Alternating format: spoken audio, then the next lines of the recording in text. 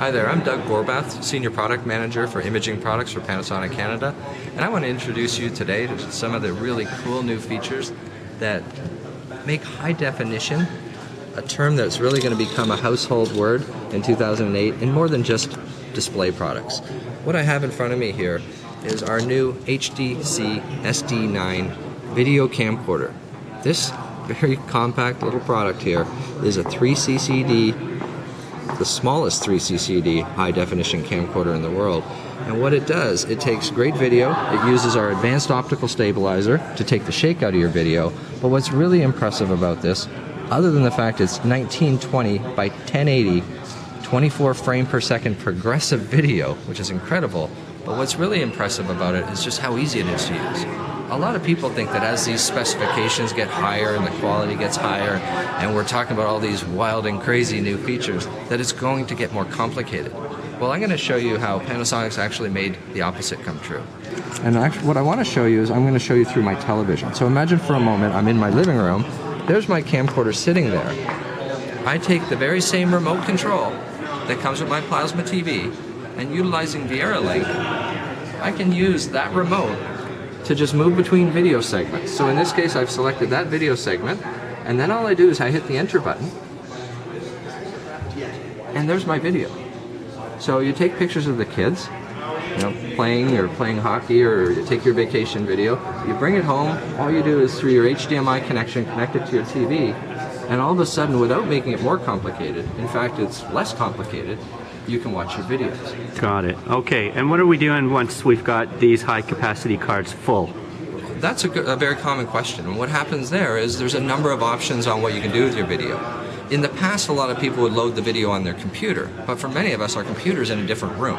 So once you've started taking off a hard drive or off your uh, memory card or anything and put it on your computer, what it does is, is it changes the way you watch it again. What are you going to take your friends over to watch your computer in a different room? What a lot of people can do now is utilize Panasonic's VWBN1 burner. This burner here is, records onto just a regular DVD that you can buy for a dollar a piece or less. And what's unique about this is it can record both AVCHD high definition video or regular MPEG 2 standard definition video. And that's the same codec that is used on a regular DVD. So it can do standard definition or high definition. And this burner works with any of our standard definition or high definition products that utilize memory cards or hard drive for storage. Doug, do I need a computer to use it? Not at all. What I'm going to show you right now is my next demonstration is this burner. What I would do to it is I can connect it to my camcorder.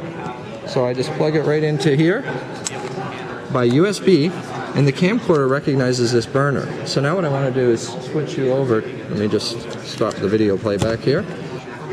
I switch over to the display again and notice it's detecting it and almost immediately it knows that burner's connected and allows me to burn a disc or play a disc. To play this back, like to play it on your television, you do have to connect it through the camcorder because it's controlled by the camcorder. However, because it's USB, it can also be connected to your computer. So let's say, for example, you made a high definition video, but maybe the kid's grandmother doesn't have a Blu-ray player to play it back in and just has a regular DVD player. I can use the burner, connect it to my computer, use the supplied software, and convert it to MPEG 2 once again, as I noted, it can do both. Right. So I can convert it down to standard definition, and then use the burner to burn a disc and say, "Here, Grandma, here's you know Jimmy's hockey game," and on a regular DVD. So it's really flexible. Or subsequently, we can we can uh, edit the movie to our liking. Absolutely. And then continue to record it into or burn it onto high def. Yes. Not only can the supplied software uh, convert it, it can also edit it. So you can trim scenes out, put in some titles, and really make a nice little movie out of it, and then copy it in high definition or copy it in standard definition as noted. So you have a few different ways now to play back your high def movies. You can play them off the memory card, as I showed you.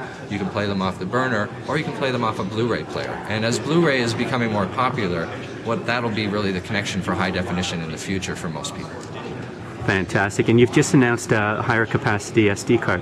Right. Our 32 gigabyte SD card will be coming out in the next uh, month or two. And you think about a couple years back when the hard drive camcorder came out and everyone was all excited, I have 30 gigabytes. Well, you're not going to have 32 gigabytes on a card this big. Amazing. So the days of storage limitations because of the card capacity are pretty much in the past now. Thanks very much, Dick. Thank you.